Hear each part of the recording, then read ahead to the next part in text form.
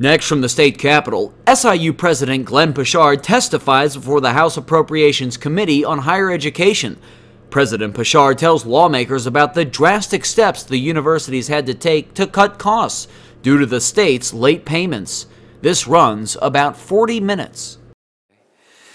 Well, thank you, Mr. Chairman, ladies and gentlemen of the committee. It's an honor for us to be before you today to present uh, uh, our presentation before the Appropriations Committee. I have with me Dr. Duane Stucky, who is our Vice President for Financial Affairs, and Paula Keith, who is the Executive Assistant to the President. She actually um, allows Dr. Stuckey and I to think that we run the university. Everybody knows how, how, the staff does. Mr. Chairman, uh, just to help the committee understand our mission or our niche in the state of Illinois, uh, of Illinois um, higher education community, uh, we've passed out to the committee uh, this handout, which I would like to go over rather quickly. Uh, and this pertains to the Il Illinois Board of Higher Education's goals for all of us at the university level. Um, the first uh, piece of the handout, the first page, delineates the geography of wealth in Illinois. And as you can see, the very dark areas are areas that have the highest unemployment, the worst health care, um, the lowest uh, uh, income level of the people in the state of Illinois. Southern Illinois University Carbondale is located at the bottom of that triangle. And as you can see, we are surrounded with a per capita income of from $10,742 to $19,993. Uh, and slightly above that in some cases as we get a little bit up to our north, uh, the 19,000 to $23,000 a year figure. Uh, we recruit heavily from this area. It is predominantly white. Uh, our Edwardsville campus sits up in the uh, more yellowish or tan area, uh, which has uh, per capita income of 23,900 to 29,000 a year. We recruit heavily in the highest unemployed area of the state, and as well as uh, very heavily in the city of Chicago. So this sort of delineates uh, the wealthier areas of the state, the Metro East area, the Central Illinois area, and in the green shade are the highest uh, per capita incomes in the state. Uh, in the document uh, of the IBHE, A Tale of Two States, they talk about the two different Illinois that exist. One Illinois is well off, well educated, economically dynamic, with a seemingly bright future. It's prosperous, educated, economically healthy. The other Illinois struggles to make ends meet. It lags in educational attainment, it's economically stagnant.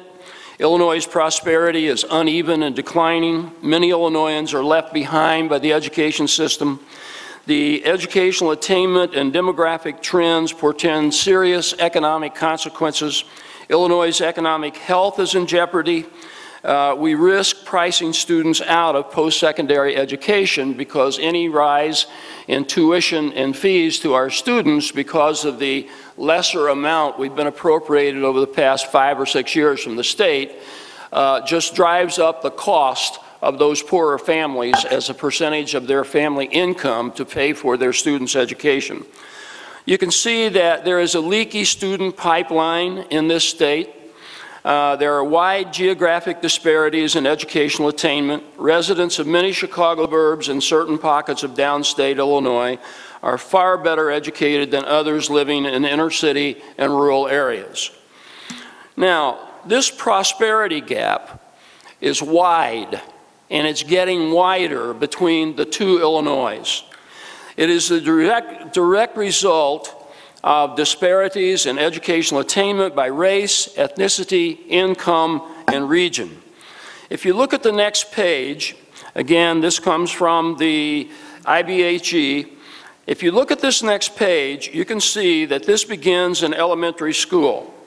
The Illinois math exams, this is uh, by fourth grade, shows that 91% of the white students are meeting uh, criteria, 54% of the African American students, and 64% of the Hispanic students. But there's a 37% attain, achievement gap between African American and white students at that level in math, and it follows in reading. And the national figures uh, are, are, are almost the same as the state figures, although a little bit higher. This prosperity gap between the two Illinois that are delineated in this study worsens by middle school. It now becomes an achievement gap. Uh, and as you can see, uh, the same thing. Illinois math, Illinois reading, you can see that the disparities grow larger, not smaller, between these two different Illinois. Uh, and when you get the high school graduation, where you see the, the first major leak, 84% of white students graduate uh, high school, 52% of African Americans, 60% of Hispanic, and 96% Asian. If you look at the achievement gap now, which is the next page, that persists through college graduation, you will see that those disparities continue the same rate nearly as they did beginning in elementary, middle school, and high school. And this, this prosperity gap between the two Illinois is directly responsible for the achievement gap that persists all the way through college graduation.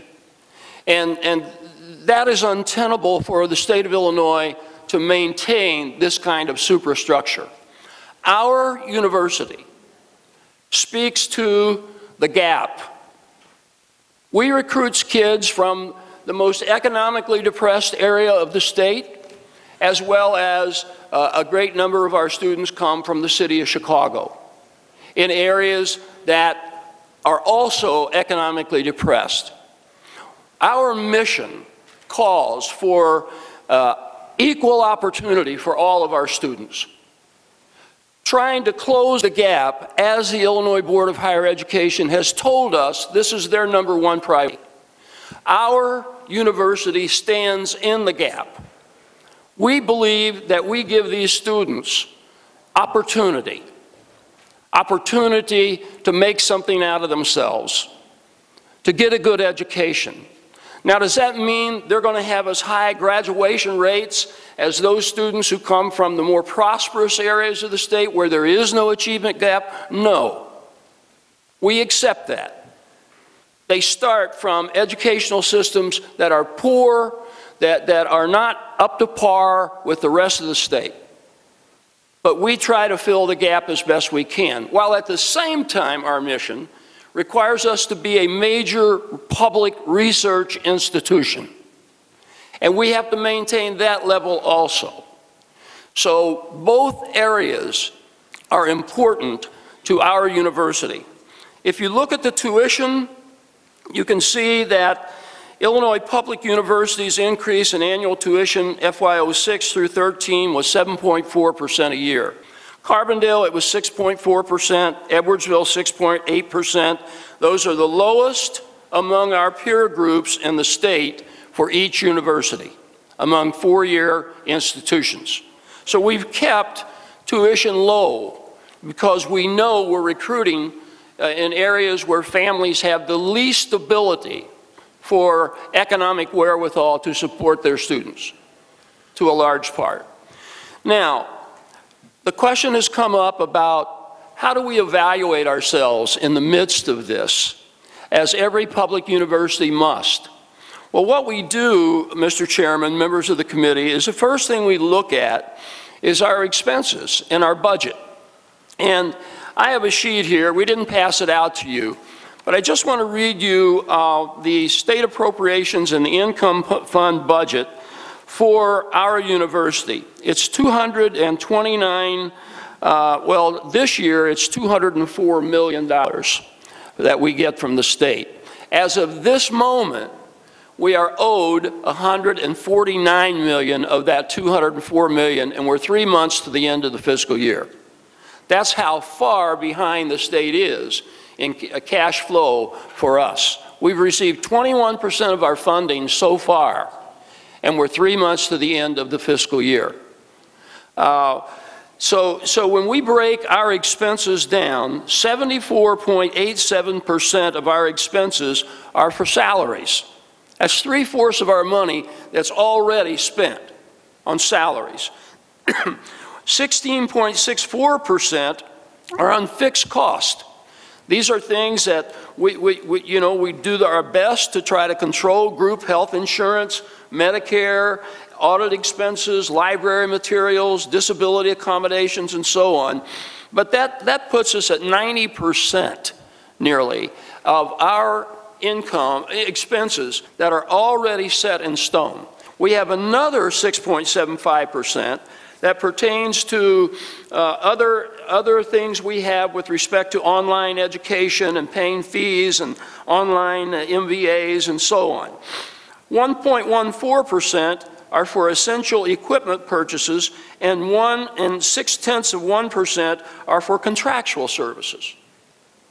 We don't have money to waste. We've been cut from $248 million in 2002 to 204 million this year, and with the governor's proposed budget, we'll be cut another $10 million. So we will have gone from, in 10 years, uh, a $50 million annual decrease in our appropriations from the state. At the same time, we're trying to educate students that require the maximum resources from the university. Now, uh, uh, uh, we've held tuition low. We get research grants from the federal government, mainly from the National Institute of Health for our medical school, for our departments of engineering, uh, science, and so on.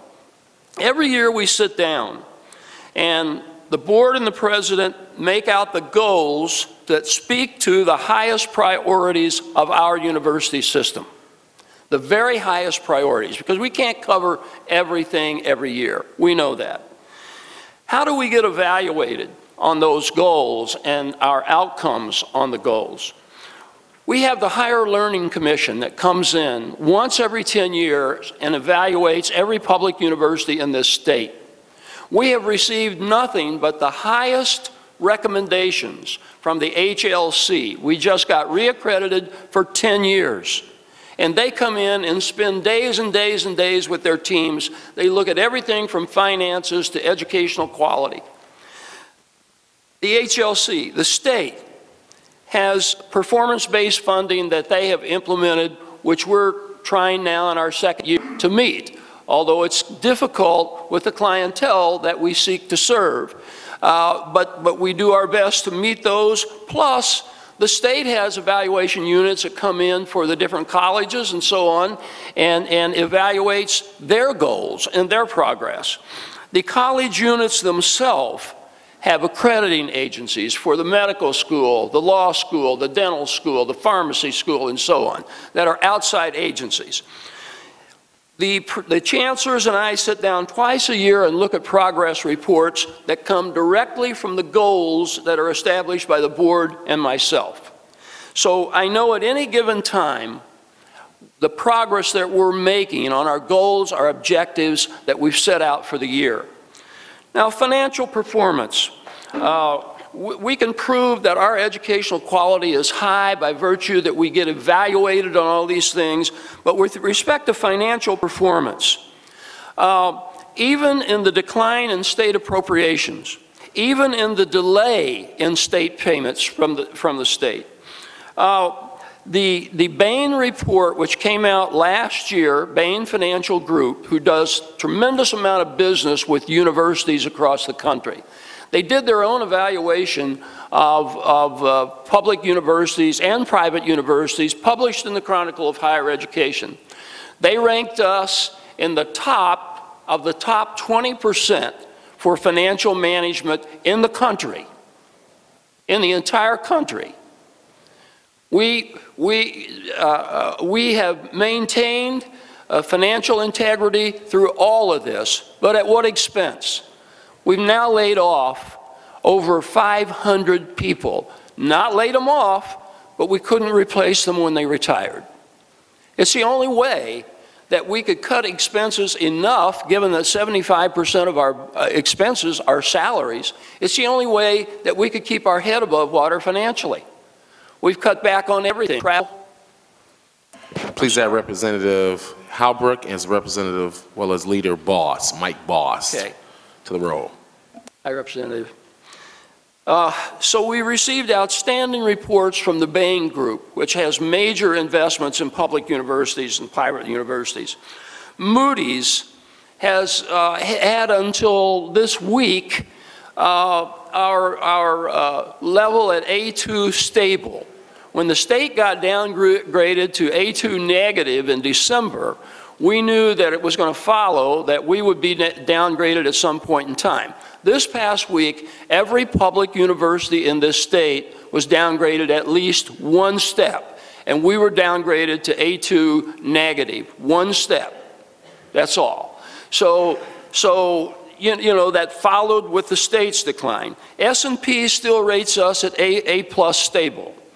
Uh, the Auditor General every year audits all of our finances through outside firms.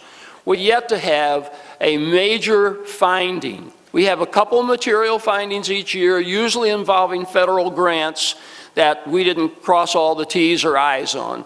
But, but the Auditor General has substantiated that and the Higher Learning Commission itself. So, Mr. Chairman, all I'm saying is, is that educational quality, we can prove that our educational quality is high.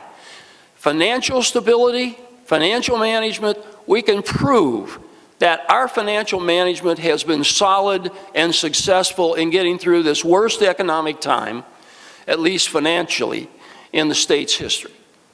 And, and so I'm sorry, I didn't mean to go all the way around the barn to say all this, but it's important for me that the committee understands that, that uh, we have a niche in this state. Uh, and we try to fulfill it as best we can. We make no excuses for it. And we have solid financial management. Thank you, Mr. Chairman.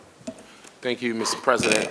Dr. Poshard, um, I appreciate your passion as it relates to educating our kids and really speaking very candidly about the two separate Illinoisans, Yes, sir. the haves and the have-nots. Yes. And that, it's all centered around education.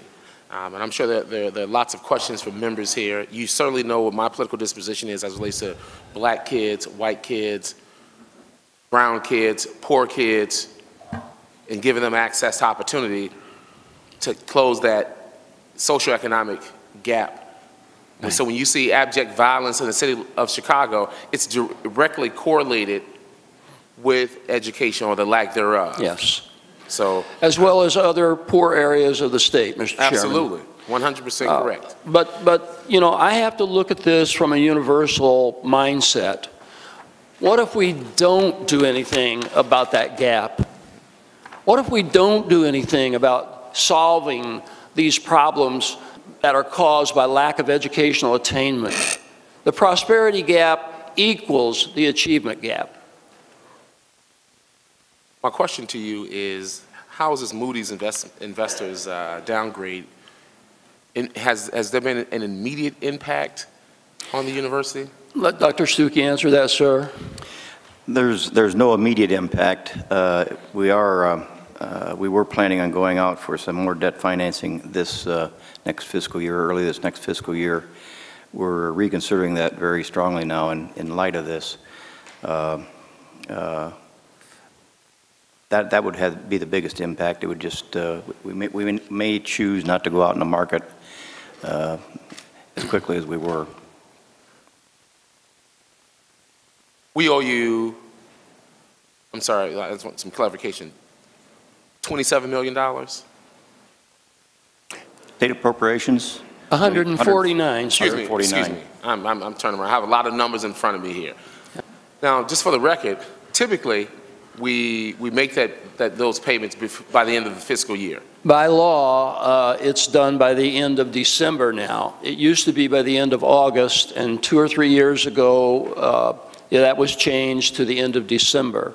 So you are required to make the full payment to us by the end of December right now, unless the General Assembly uh, decides to, uh, to uh, uh, push that out farther. Okay. I want to add Representative Jehan Gordon to the role. Um, my- second question is, uh, the- Department of, uh, uh, as Representative, as well as Representative Laura Fine.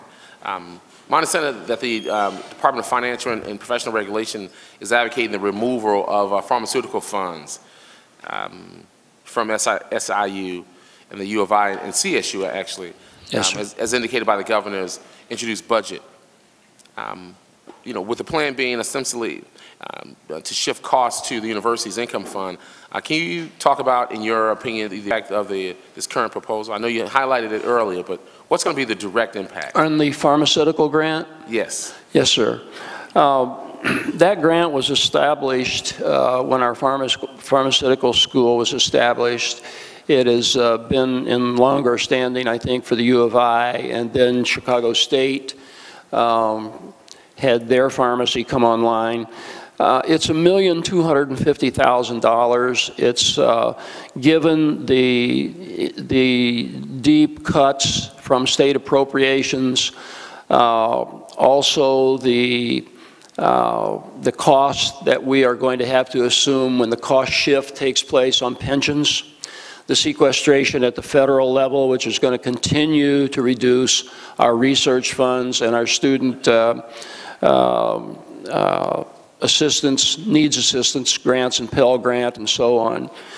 Given that, a million two hundred and fifty thousand dollar loss, sir, to uh, our system, which will now come out of our operations budget to pay for that, is really a huge burden.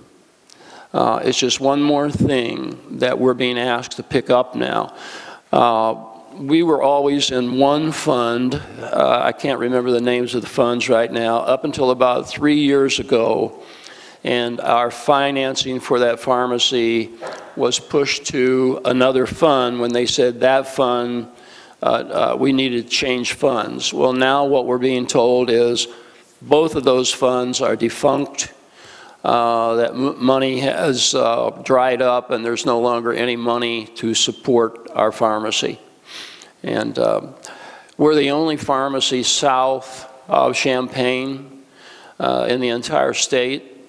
Our kids have usually had to go out of state uh, to uh, pharmacies, and this has been a great boost. By the way, Mr. Chairman, 100% of our pharmacy graduates, uh, graduates attained their board certification when they passed the test, their certification test for becoming pharmacists.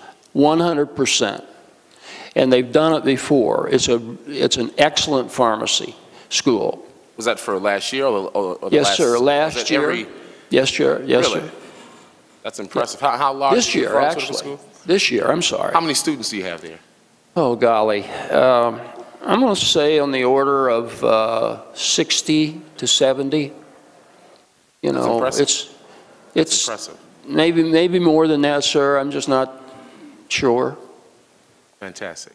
Rep- Representative Dwight Kay for questions. Thank you, Mr. Chairman. Uh, President Poshard, welcome today. Uh, I'd like to divide my time into uh, maybe just some some comments to to lay some foundation here, because maybe many in this room don't know you. Um, You understate uh, your presence in the state, and you understate the work that you have done for SIU E and Carbondale. Uh, You are the one person and one person alone that I never hear any criticism about. Uh, In fact, what I hear is all the good things you do, and that's unusual in this state because we uh, tend to nitpick a lot. We are very political, and we find ways to uh, find something wrong with someone at any given point in time. Uh, That's not the case with you, and that says to me that you are focused on one thing and one thing alone, and that's providing a good education at a good price to our students in, in southern Illinois. Uh, You also forgot to tell us how prominent uh, the various schools that you have are. And let me, let me just begin for a second. Your pharmacy school, top-notch, Yes, sir. top-notch. Uh, Dental school, one of the best in the nation. Yeah. One of the best in the nation. It is. And that, that's not arguable, that's, that's a fact. Right. Uh, Your, your medical school, I don't know as much about, but I hear very, very good things, and I understand that your students are very successful. And finally, your engineering school may be as competitive as any, may be as competitive as any engineering school in the Midwest. In fact, it may go beyond that. Uh, Let me just add a personal note to this. I have a daughter who just graduated from your nursing school. Uh, She had, contrary to what you hear, she had uh, nine job offers. She accepted one at Barnes Jewish. It pays very well. Barnes Jewish said that SIUE has one of the best schools, and they love to have the graduates. Um, So I've also had a relative who taught in the engineering department, and in national competitions that the engineering department has, uh, SIUE generally wins that competition. In fact, I think they've won it three of the last five years, maybe four of the last five years. So what you're telling me today, uh, you- again, you understated it, and you're a humble guy, I know that. You understated the success of the university and what you've done for it. Now, let me, let me get into some questions here for just a second. The $149 million that you're owed, how far back does that go? Well, we were paid for FY '12 by the end of December uh, last year. So it goes, it's this fiscal year, starting July 1st of of last year. And to make up for the, the delay in payment, have you borrowed money? I'll let Dr. Stucky speak to those. No, we, we don't have the authority to borrow for operating purposes. What, do you have rainy day fund? Yes. The, uh, starting with the fall of '09, when, when we began to see the, st- the state uh, delay payments more and more, Dr. Poshard took up to begin to uh, delay payments, uh, accumulate, accumulate more cash reserves, delay payments to, to vendors as much as we could, uh, put on a hiring freeze, uh, and we began to, uh, we didn't call it a rainy day fund, but our cash balances began to improve. In fact, they're better now than they were three years ago. So how long can you operate on, on this principle or on your philosophy? Well, uh, if the state continues, uh, this year, uh, the state has been, uh, uh, I should, we we can expect payment more regularly. They haven't caught up, but uh, the comptroller's office attempts to give us so much per month, 5% per month during the the fiscal year. That helps our- with our planning uh, very much. And as long as the delays don't get any more than they are now, we, we, we we see now that we've been able to manage this for a couple of years. We can continue to manage, it- manage it, uh, but we do have to have, uh, uh, we need to be made whole by the end of December, December December, this year? yes. And Representative then- Kay, if, Yes.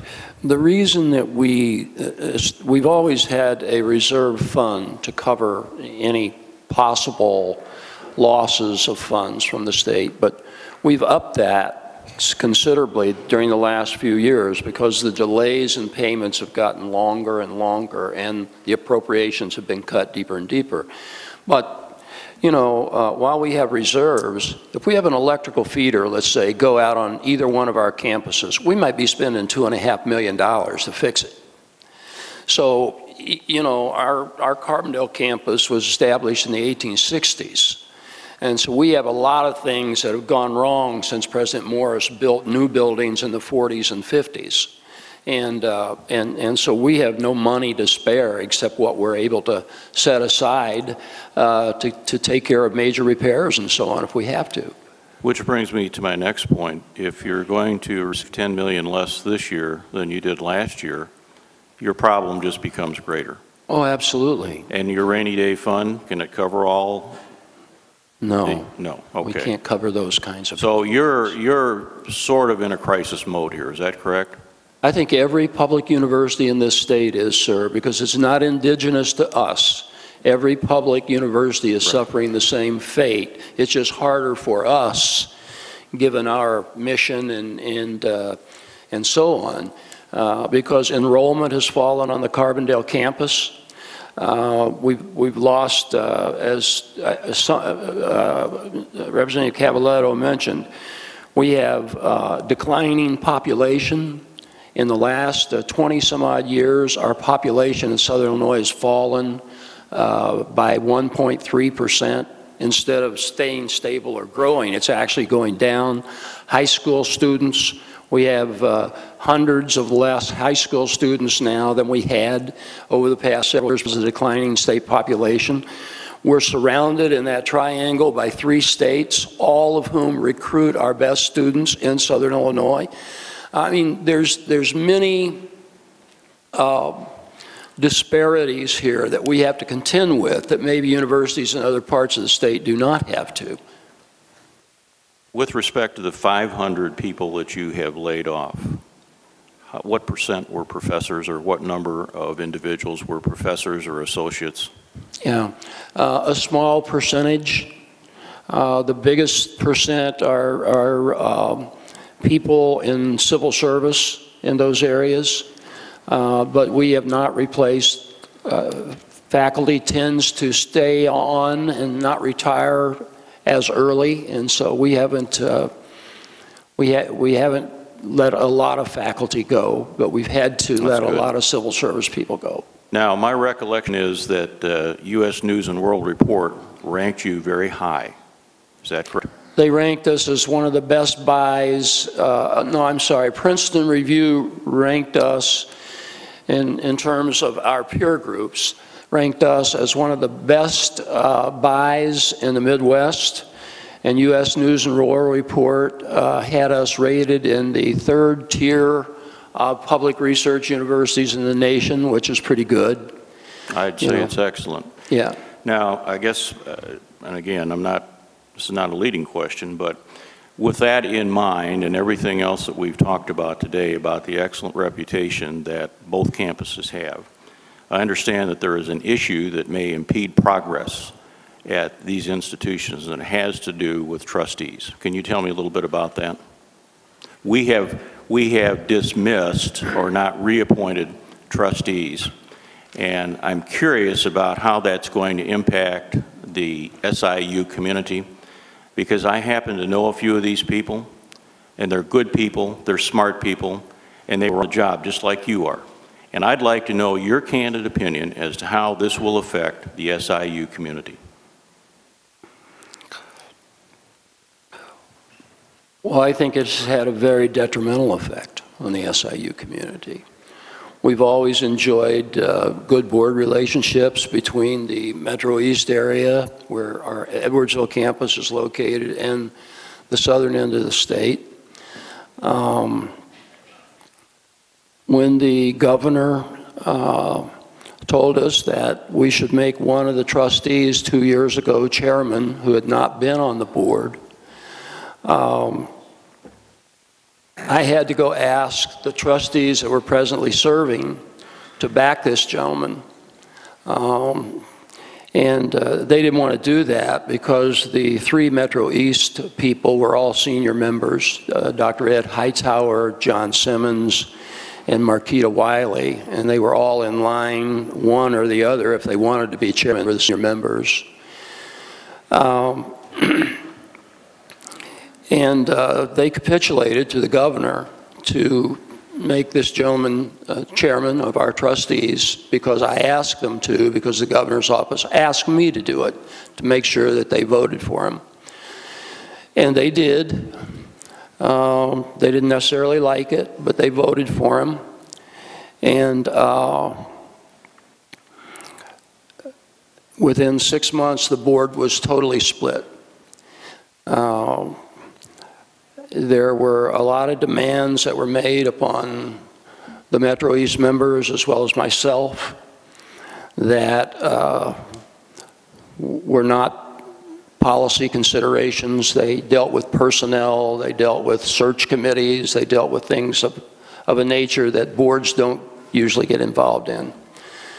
And um, as it happened, uh, The second time uh, the gentleman came up to be chairman, uh, the Metro East members would not support him uh, in any way because of what had transpired.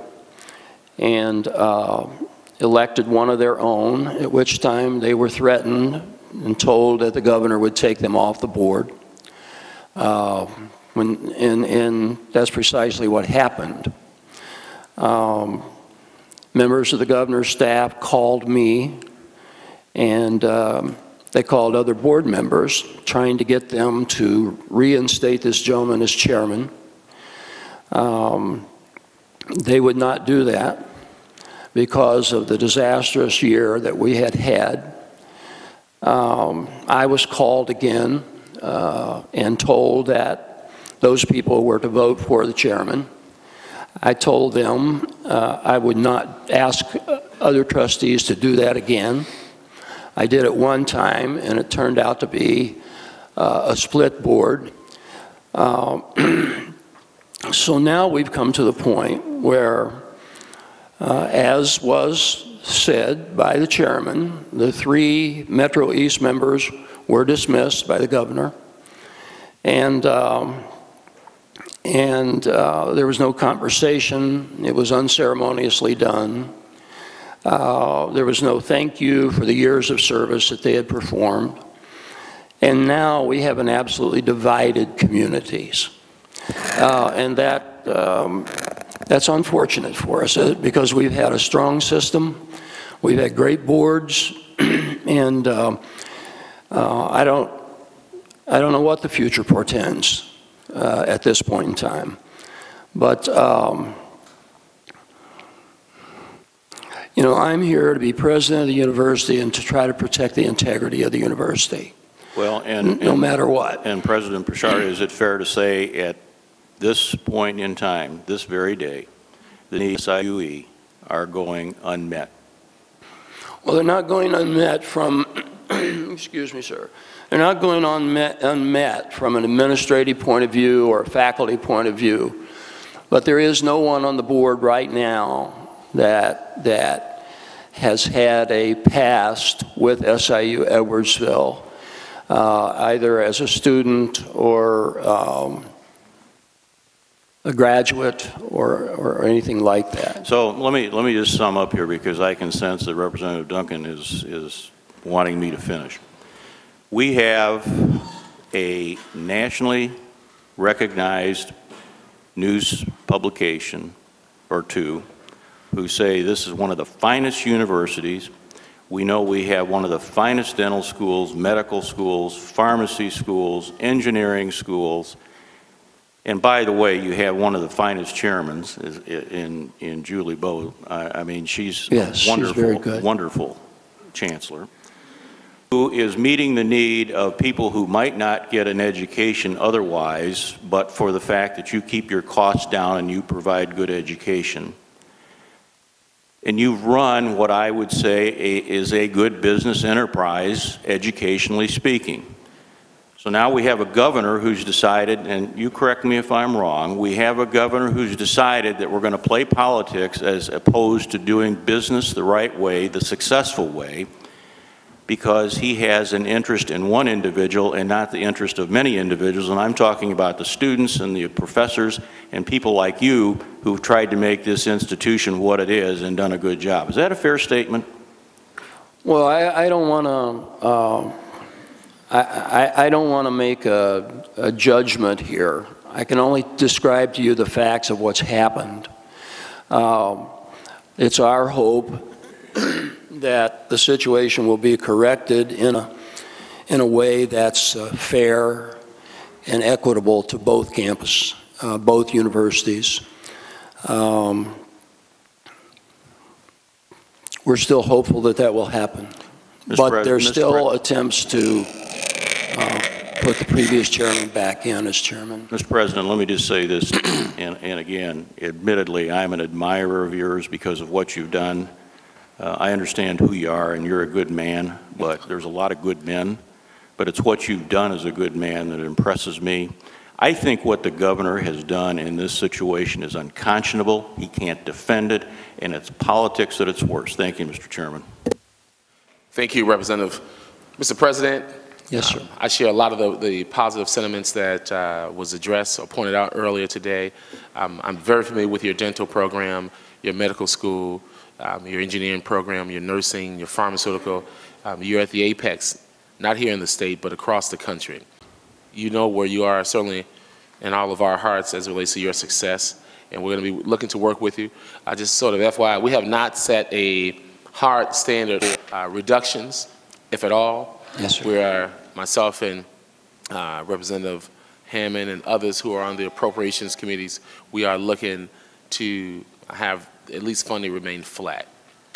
Mr. Chairman, that's all we ask for. If we could receive stable funding, that, that would be great. I mean, we'll take it. We're trying to do our part as best we can to help the state on the pensions and other issues.